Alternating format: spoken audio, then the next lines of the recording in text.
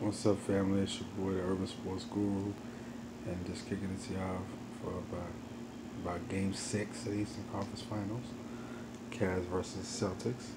And um, what I'm expecting tonight is for the Cavs to protect home court. I'm expecting LeBron to have one of those games where he just has an incredibly high usage rate. Probably puts up 40 because of it, and he gets some help from one guy in particular that only seems to show up at the Q, J.R. Smith.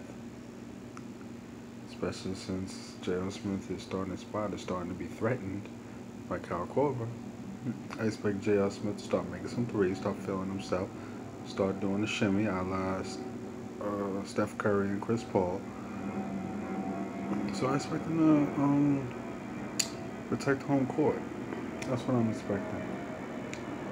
I'd be surprised if I see anything else. I'd be surprised if the Celtics come in there and close them out. I'd be very, very surprised. I expect the Celtics to put up a better game than they did in games three and game four. That I do expect. But for them to actually win, to go into the Q and win and beat LeBron James, to get that kind of effort from all of those guys, because they got to win in a group effort. They have to win with five, six guys in double figures. That's how they got to win. It's not like Tatum is going to put up 40. Tatum's not going to do that. Uh, oh, Jaylen Brown's not going to do that. Rozier's not going to do that. Horford's not going to do that. But each of them could put up 15 to 25. That's, that's a Herculean effort. Possible. Plausible. But I don't see it happening. I'm saying Cavs tonight, Game 6. Forcing a showdown, Game 7.